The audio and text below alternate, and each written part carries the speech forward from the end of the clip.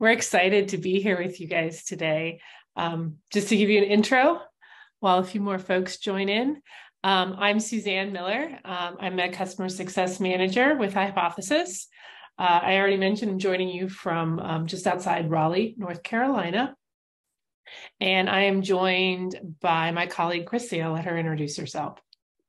Hi, everyone. My name's Christy. I, like I said, I'm in Southern New Jersey, kind of outside of Philly.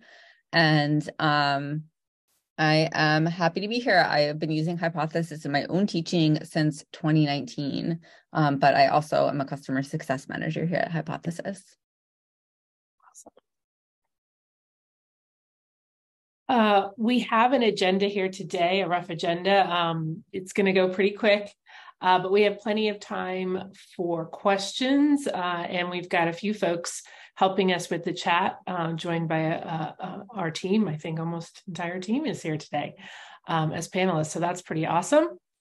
Um, but uh, I wanted to take a moment to have you guys, I don't know where that came from, oh, have you introduce yourselves in the chat. Uh, since we've introduced ourselves. So if you can, um, make sure you pull down uh, in the chat, the blue button, pull down to everyone and uh, share a little bit about uh, your your school, obviously, um, and your role, your department, that sort of stuff. And maybe even your experience level with Hypothesis, if it's brand new to you or if you are a seasoned veteran. Okay. And while y'all are introducing yourselves, I'm also going to launch a poll just to see what LMS you're using, because um, this will come in handy a little bit later on in the session. So if you could also take the poll. Sorry, we're asking you to do many things at once. I know. it's a lot for a Friday, huh? Yeah. Negative 30. Ouch. Hey, I think most people have taken the poll. So thank you for letting us know so we can take that into account a little bit later on. Absolutely. So I am going to plug on, sort of set some purpose here uh, with our session today. Uh, this actually comes uh, from a blog published in 2019 uh, by uh, several instructors and including our scholar in residence, Remi Kalir. Um, but it had some, we'll call golden nuggets of information uh, about grading and feedback. Uh, obviously, it was a study to talk about motivations and engagement with social annotation. But I think the key in this blurb we have here is that participation marks or the fact that annotation was required for a course was by far uh, the biggest motivation for students to annotate uh, using hypothesis. So it's something we cannot uh, underestimate. And, you know, while sometimes it can get, it can bog us down a little bit as instructors, um, it's obviously a really important um, part of of this practice um, that you're using with hypothesis in your LMS. Was there anything that you wanted to add, Christy, about this? I know speaking from experience. No, okay. um, okay, so again, we're gonna. This is not a poll, but this is more um, us sort of prompting you to get some ideas about what kinds of things you want to see from your students uh, in their annotation. So, like in a perfect world, uh, what would be some of the things that you would love to see. And feel free, uh, if you don't see it on this list, to go off script. But uh, if you see a combination of things, you can share that as well. But if you can, in our chat, uh, looking at this list, share with us what are those things that you are looking for in your student annotations. Awesome. Thanks, Bridget and Carrie Ann.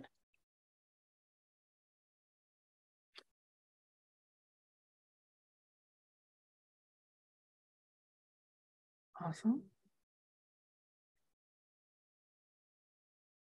Okay. I'm seeing I'm seeing a trend here for sure. uh, on the analysis, the critical thinking, reading strategies. Very good. I dare say that might be why you're here today, because uh, we really uh, want to talk about those high quality annotations, um, because that's where the grading and feedback really um, plays a major role.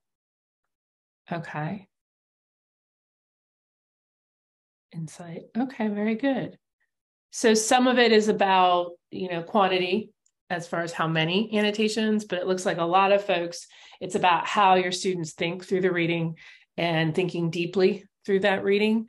Uh, so hopefully today that sets a little purpose because uh, we can talk about how you can dig in a little further and assess uh, and give feedback on those deeper annotations. So thank you so much for sharing everybody in the chat. The first type of, of grading that we're going to talk about is analytic grading. Um, this is where we're dealing with learning objectives. They are the obviously the essentials for your course or for that assignment. Um, professors obviously construct rubrics that represent uh, a level of achievement for each of those ob- objectives or elements. Um, it does not yield a single holistic grade, but it does reveal its parts. Um, so it really allows you analytic scoring um, to complement if you are asking for analysis for your students, right? So for those of you who shared about analysis being a you know a heavy component, um, I think the analytic grading scale uh, could probably be uh, your best bet moving forward. Uh, as far as what an analytic rubric would look like, um, I've actually in this slide shared an example from uh, two instructors at um, the Missouri University of Science and Technology. Uh, we have credited them here, and you guys actually have uh, the links to the slides so you can come in here and dig a little bit deeper. But this is, you know, a fairly involved analytic rubric. Um, but as you can see here, we've got each of our objectives, our elements um, that the instructors were looking for, and then we've got a scale that follows from there. So in, in, in the ways that I mentioned earlier, it does reveal each element, each part, and you can really look at strengths and weaknesses. Uh, obviously, some of the advantages of analytic grading is that it brings to consciousness uh, some of those subconscious processes uh, that go into recording grades. Uh, so, you know, things we always talk about hypothesis, uh, making learning and reading more visible. Uh, an analytic grading rubric can do that. Uh, it looks at those strengths and the weaknesses, and all the criterion are weighted to reflect the relative importance of each element. Um, I don't know if you saw in the last one, but certain elements were worth more than others. Uh, it can be much more objective, which is nice, of course, and it does allow you to give more specific feedback, um, which will lead into our feedback part of the session a little bit later on. And with that said, we're going to talk a little bit, or Christy's going to share with you about holistic grading. Thanks, Suzanne. So, um, I think it's really important to keep in mind as we talk about each of these different methods or strategies for grading, what is the actual purpose of your annotation assignments? And a lot of you shared kind of a general purpose with us. Um, the analytic rubric, I think, is really great just as an example for something like if you're having students read academic articles and you really want them to identify like key parts and you're asking them to annotate certain areas there's really like a breakdown of different things that they're doing just one example could obviously be used for other things as well um, holistic grading rubrics uh, are a little bit different in that to state the obvious, they're more holistic. Um, they consist of just a single scale with all of the criteria for the evaluation in one kind of grading area. Um, so the students are kind of just you you choose a box that you're going to be assigning the student um, to describe the kind of their whole annotation assignment. So this is one example of a holistic annotation rubric.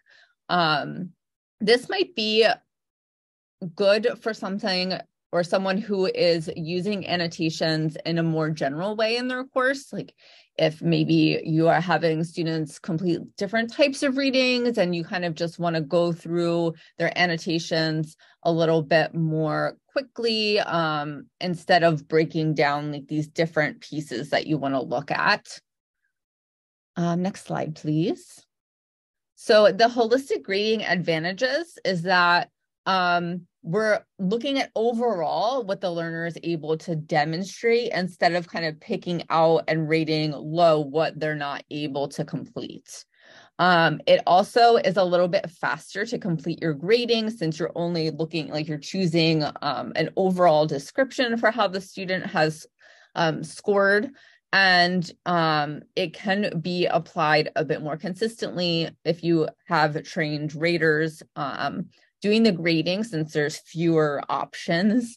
Um, and then that can increase the uh, inter-rater reliability.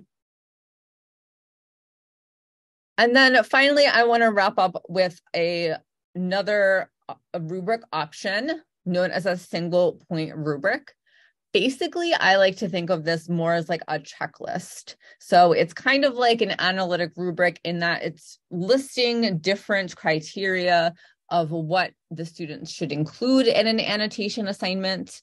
Um, but instead of describing what a deficient annotation might look like, it only is describing what proficient for work looks like. So only proficiency is described. It's only describing like you should your your uh, annotation should have X, Y, and Z. You should have three annotations. They and they demonstrate critical thinking, et cetera, et cetera.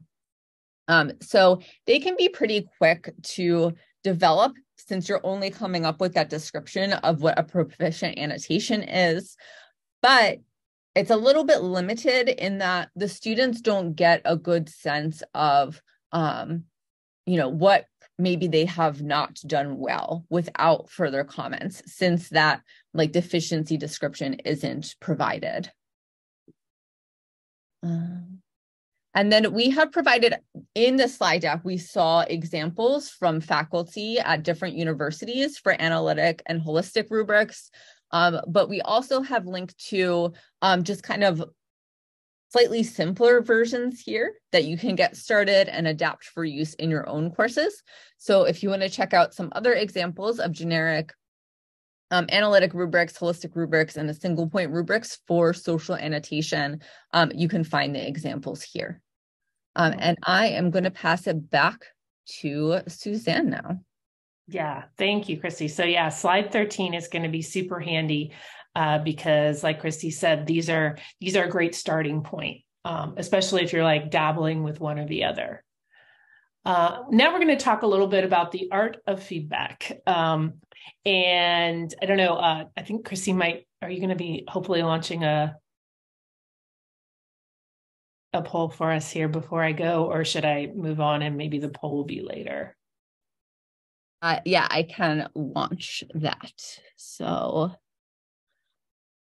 um, if you could just let us know. Um, actually, Suzanne, do you mind going back one slide just so we sure. can all remember yeah. which one looks like which? Which yeah. rubrics do you think you might prefer to use in your course with social annotation? Oh, interesting. Oh, we're pretty split. I know. oh, we're actually, unless other. Oh no, no. It's really funny to watch. You y'all can't see. They're both rolling in, but it's like uh the different rubric types are battling it out. Yeah. Yeah. So far, holistic is sort of edging us out with maybe one additional person. Yeah. Okay. All right. I'll share those results out while Suzanne continues so y'all can see. Yeah. Thank you guys for sharing that. Um, so now that we get an idea of maybe the type of scoring that you want to do, um, let's talk a little bit about how you can provide that high quality feedback. Because you'll notice that even while we were talking about each type, uh, limitations and advantages, uh, feedback was always a component.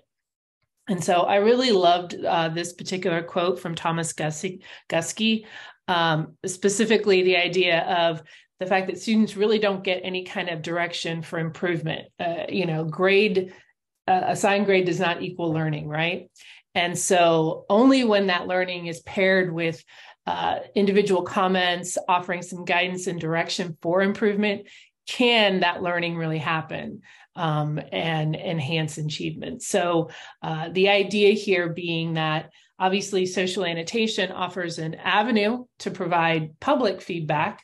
Um, but maybe it's not so specific to the quality um, and improvement of the annotations themselves. So, with that said, let's just talk a little bit about it. Um, obviously, social annotations and instructor feedback can model uh, very much like a studio or workshop approach. Um, obviously, it helps students sort of self regulate, take the initiative they need. Um, and obviously, in that role, uh, the teacher is to provide that guidance and that feedback as a facilitator. But uh, I would say in the margins of your hypothesis assignments, it almost operates like an art studio or gallery where the work is on display.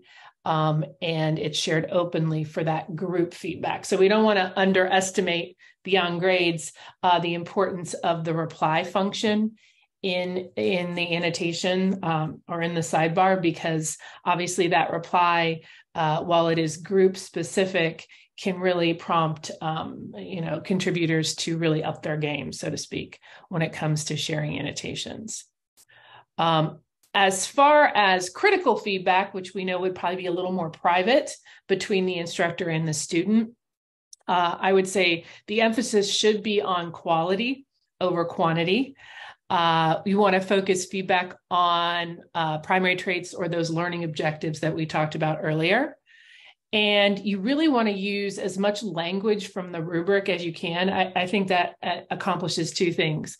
Obviously, it, it's very specific and um, you know constructive for students, but I also think that it it reinforces using the rubric um, and helps students makes them want to return to it uh, throughout your course or throughout multiple assignments. Um, but I do believe also that it you want to make more recommendations for how a student can improve rather than identifying those errors or weaknesses. Um, and some people might say, well, uh, perhaps the single point or the holistic rubric would help me in this effort to uh, you know focus on the positive and focus about how you know how they can improve and that sort of thing. Uh, there are four principles of effective feedback. Obviously, you want to emphasize the task. You don't want to dwell on the student's ability because that can get complicated. Um, you want to give them that specific feedback so they can improve. You want it to be regular and ongoing. Uh, so I would dare say if you're enabling multiple hypothesis assignments over the semester, which we hope you are doing, um, that you are staying consistent with the feedback that you might be providing um, through usually through your LMS uh, grading uh, feed, you know, grade grade book function is where you would provide that private feedback, um, or maybe on a standalone outside of the LMS. But however you're providing it more privately, you want that to be regular and ongoing. Um, and more so than anything, I think nowadays it's probably most important that you focus on the process, uh, not the results. That's one of the reasons I love Hypothesis is that it's a, a very process learning process oriented tool as opposed to that that end product um, which you know doesn't provide opportunities for ongoing feedback. We've created a uh, an acronym here that might come in handy. We call it art. And uh, what art stands for is what you see on this slide. Um, the a is to affirm sharing of course you know what's good here in the annotations that you provided. And then again, this is much more in a private uh, back and forth that you might have with the students. So sharing those strengths, reminding them uh, to not forget to, to add this or do this if that was included in um, the assignment. And then, of course, uh, kind of giving them a task, like a next step. What is it that you need to do now uh, to move forward and to improve upon this assignment? So, with the process of art, uh, we decided uh, that it would be cool to actually take some feedback from a couple samples and see what you could do based on what you've learned today. And of course, your wealth of knowledge over time. Um, share with us in the feedback jam uh, that Christy has just posted in the chat. Uh, what you're going to do is you'll notice that there are two examples. Uh, we'll say page one and page two of the jam. And what you're going to do is you're going to pick one example that you like or that you think would challenge you. And you are going to use the sticky note function, which could be found on the left side uh, of the Jamboard. Uh, I've circled it on my slide if you can see it. And you click that. And what I'd love for you to do is you're going to see the, the teacher feedback that was provided. It'll be circled. But I want you to try to use two of the art elements um, to provide or improve the feedback um, or improve upon the feedback that was provided from the teacher on these assignments. And with that said, I am going to go back a slide so that you can remember what those elements of art were.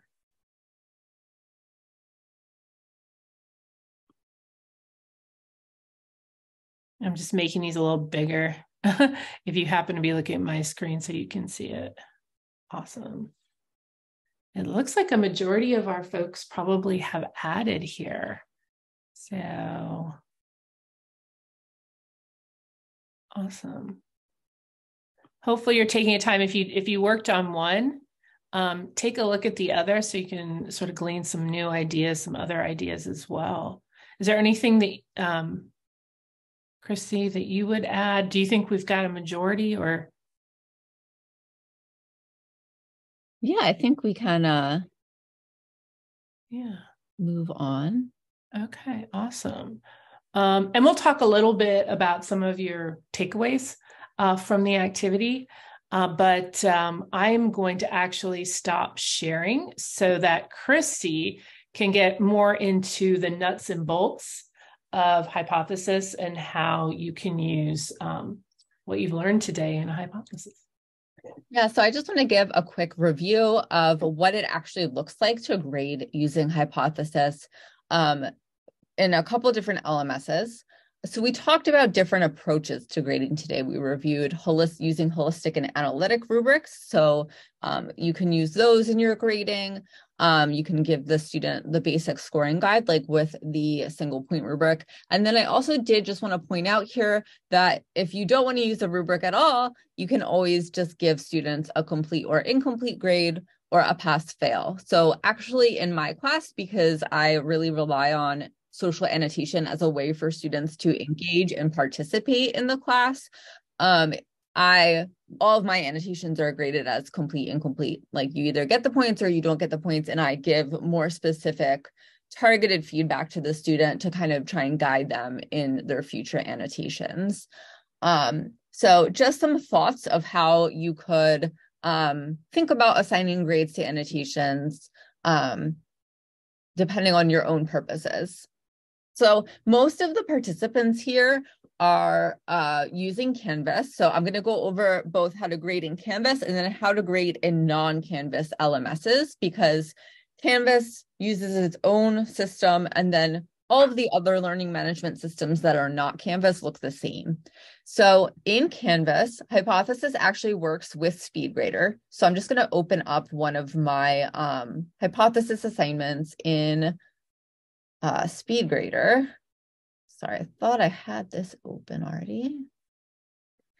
I'm to open my SpeedGrader in Canvas, and you'll see that um, in SpeedGrader, hypothesis will filter out the annotations by student. So I'm looking at Jennifer's annotations here, and I'm only seeing Jennifer's annotations in the grading um, sidebar. So I can just review what Jennifer has contributed uh, and then I can give Jennifer that grade if I want to, and the um, comments, that private feedback, um, and move on to the next student. I want to highlight, and this will be the same no matter which learning management system that you're doing, that when hypothesis um, filters by student, sometimes professors are like, okay, but I want to see like what their replying to like if they're if they're replying to another student like we see with this example i'm looking at malika's annotations and she's actually replying to jennifer in one of these examples um you do have the option to expand and kind of show that context if you want to. So while you're grading, you can reveal more context or choose to um, only look at, you know, the one student at a time. So that's what we look like in Canvas. And this is, uh, this slide is linked to our instructions for how to use SpeedGrader in Canvas. I'm not going to go through the steps here. I just want to note that you can also attach rubrics to your hypothesis enabled readings in Canvas. Um, there are just a specific order you have to do that in. If you're interested in doing that, um, I would make sure to review the instructions here or uh, review it with your customer success manager. Now, the other learning management systems, the grading looks a little bit different than Canvas. So I know we have some Blackboard users in here and a Moodle user. Um, I have this open in Blackboard, but it will actually look pretty much the same, whether we're in Blackboard, in Moodle, in Sakai, you know, whatever other learning management system. In this case, I have um, my annotation and text on the bottom of the screen, and I have my uh, grading bar at the top of the screen. Um, so I have this drop down here that shows me any student that has opened the document.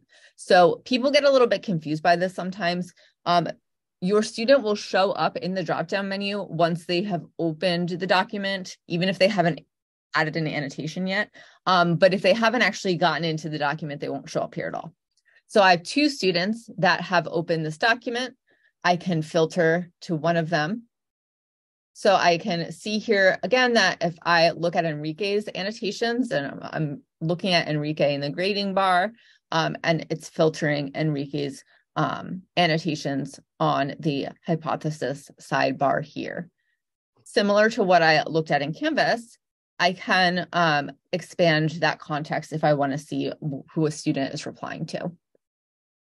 After I review the annotations, I can enter the score in um, you know, into the grade bar at the top and submit the grade before I move on to the next student. And again, the annotations will be filtered. Um, so the arrangement of things is a little bit different than the Canvas SpeedGrader, but we have pretty similar functionality going to look the same in Blackboard, Moodle, Sakai, our other learning management systems. One really important thing to note about the grade bar in these uh, Blackboard, Moodle, these other non-Canvas LMSs is that no matter what, the grade bar is always going to say that your grade is out of 10. So in this instance, I actually set up my assignment to be out of 100 points, but the grade bar will still show out of 10 no matter what.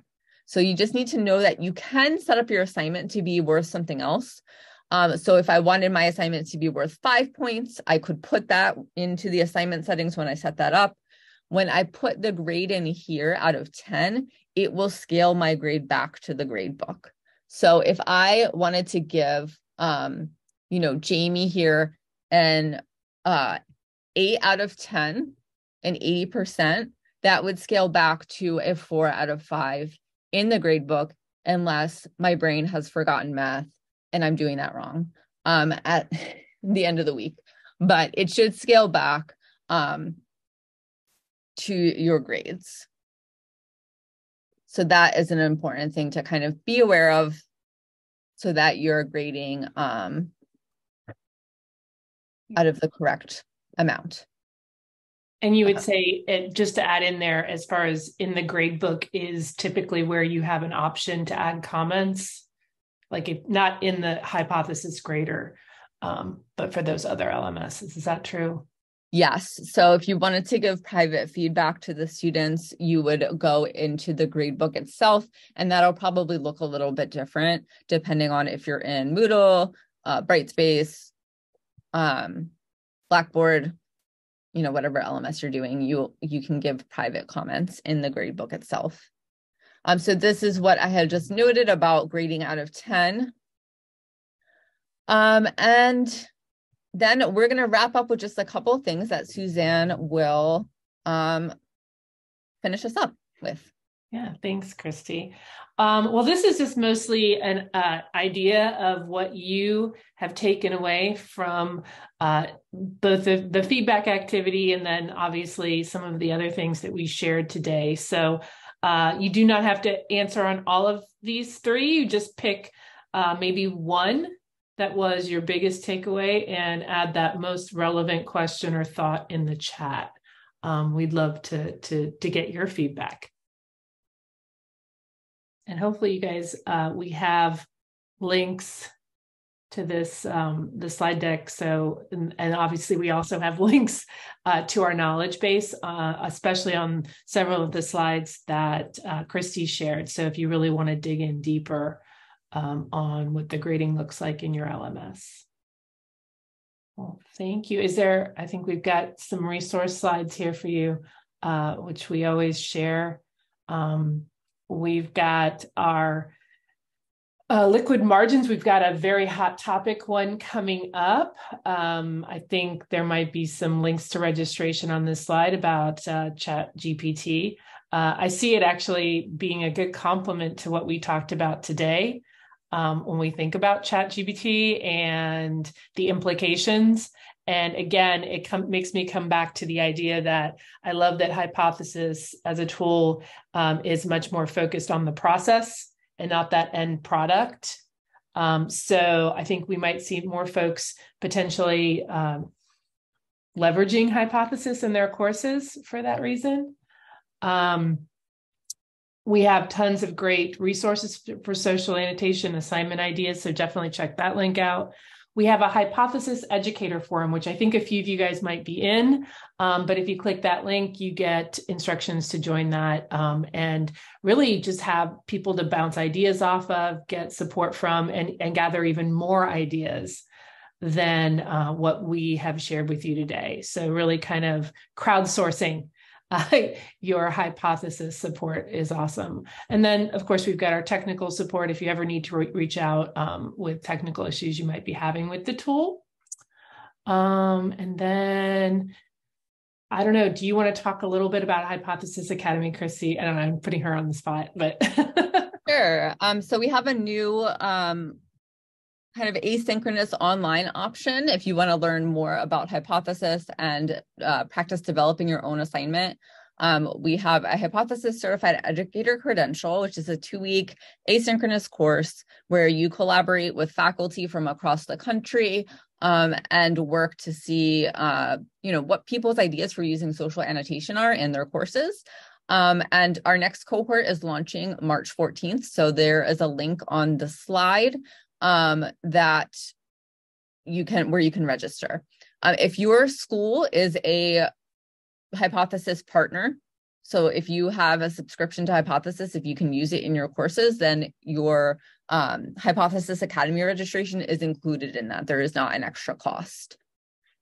I think the link should work. Bridget says she's having some issues with, with the the jam link or yeah, the I just clicked it and it worked, but I don't I want to make sure.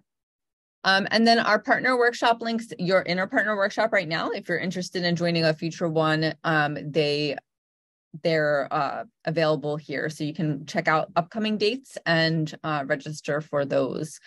Um, and I think if you have any questions, sorry, I just took I just took over Suzanne.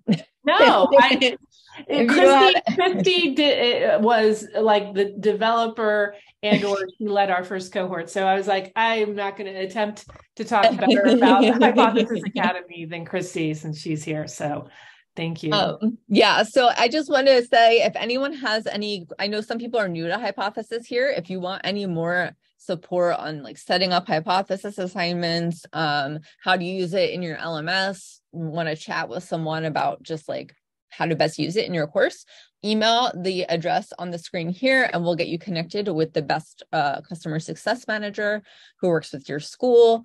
And um, yeah, that's that's about I think that's all we have for today. So um if we have any other questions. Um, Bridget, I was actually clicking on the link from the chat. So I wouldn't try clicking on the link on the on the Zoom screen. I was clicking on the the link from the Zoom chat itself. and that was working for me. Um, but I will be sending out the slides via email as well. Mm-hmm.